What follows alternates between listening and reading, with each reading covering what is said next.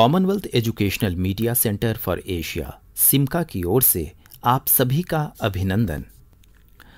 नमस्कार, मैं ऑटो उस्ताद। आज आपको heater and air conditioning system के बारे में बताऊँगा।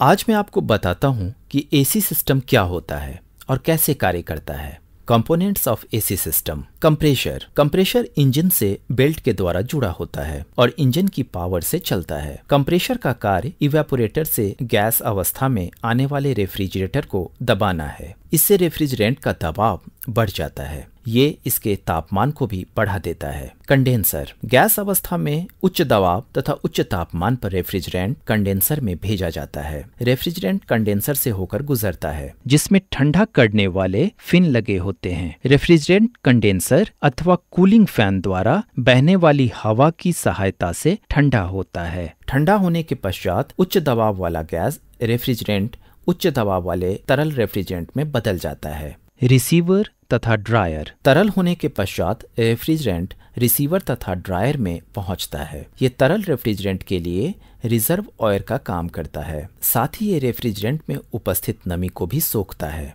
Expansion valve.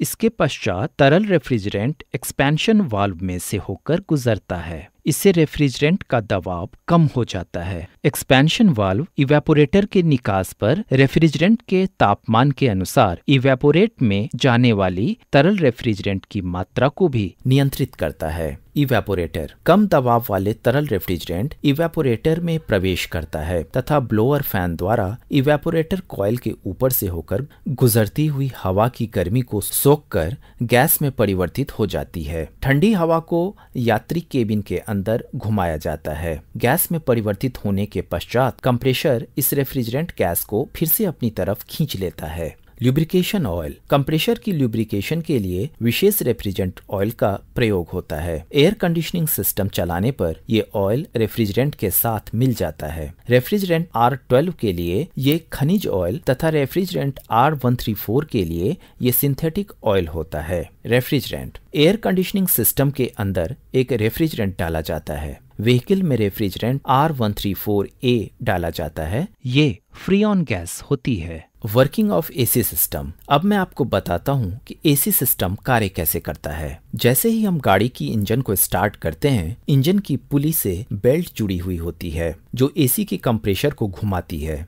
गाड़ी के डैशबोर्ड पर एक स्विच लगा होता है। जैसे हम उसे ऑन करते हैं तो एयर कंप्रेशर के अंदर पिस्टन रेफ्रिजरेंट गैस को कंप्रेस करने लगते हैं। कंप्रेशर गैस का प्रेशर बढ़ा देता है, जिससे रेफ्रिजरेंट गैस से लिक्विड में बदल जाता है, लेकिन प्रेशर बढ़ने के कारण लिक्विड का टेम्परेचर बढ़ जाता है। कंप्रेशर गैस को कंप्रेस करने के बाद कंडेंसर में भेज देता है। जैसे ही रेफ्रिजरेंट गैस कंडेंसर में पहुँचती है तो उसका टेम्परेचर कम हो जाता है, क्योंकि उसमें पाइप जिग पैटर्न में लगाई जाती है। कंडेंसर का मुख्य कार्य रेफ्रिजरेंट के तापमान को कम करना है। कंडेंसर के ऊपर रिसीवर तथा ड्रायर लगाया जाता है। ड्रायर रेफ्रिजरेंट गैस को रिसीव करता है तथा उसमें से नमी को सोखता है। रिसीवर से लिक्विड रेफ्रिजरेंट एक्सपेंशन वाल्व में जाता है। एक्सपेंशन वाल्व लिक्विड रेफ्रिजरेंट के प्रेशर को कम कर देता है, जिसके कारण लिक्विड रेफ्रिजरेंट वापस से गैस में बदल जाता है। रिसीवर से रेफ्रिजरेंट एवेपोरेटर में जाता है, जिसके कारण रेफ्रिजरेटर के प्रेशर और कम हो जाता है। इवेपोरेटर की आकृति बिल्कुल रेडिएटर के समान होती है। इसमें तरल रेफ्रिजरेंट दोबारा से गैस रेफ्रिजरेंट में बदल जाता है। इवेपोरेटर के पीछे एक ब्लोअर लगाया जाता है,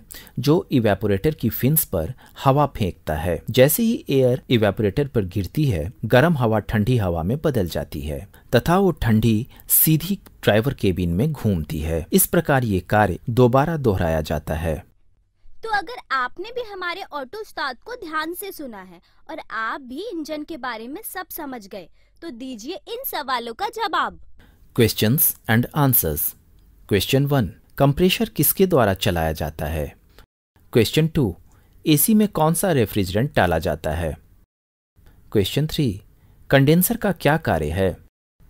क्वेश्चन फोर कंप्रेशर का क्या कार्य है? क्वेश्चन फाइव कौन सी गैस रेफ्रिजरेंट के रूप में प्रयोग होती है? क्वेश्चन सिक्स रिसीवर का क्या कार्य है? क्वेश्चन सेवन ब्लोअर का क्या कार्य है? क्वेश्चन एट एक्सपेंशन वर्ल्व का क्या कार्य है? क्वेश्चन नाइन इवेपोरेटर में रेफ्रिजरेंट किस अवस्था में होता है? क्वेश्चन टेन कंप्रेशर में रेफ्रिजरेंट कौन सी अवस्था में होता है? Questions answers answer one, engine से। Answer two, R one three four A. Answer four, ये रेफ्रिजरेंट के प्रेशर को बढ़ा देता है। Answer five Freon answer six, ये रेफ्रिजरेंट की नमी को सोख लेता है। आंसर सेवन, ये हवा को इवेपोरेटर पर डालता है। आंसर एट, ये रेफ्रिजरेंट के प्रेशर को कम कर देता है। Answer nine gas. आंसर्स।